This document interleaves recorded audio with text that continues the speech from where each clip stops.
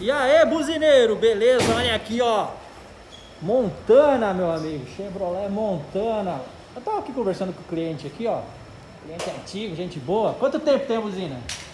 Três anos. Três anos? Três anos. Quantos carros passou? Ah, já passou com uns quatro carros. Quatro carros, tá Quatro vendo só, galera? Buzina boa, custo-benefício legal.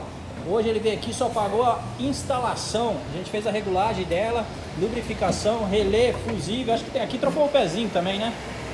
Ficou bala, cara. Vamos tocar lá pra ver como é que ficou?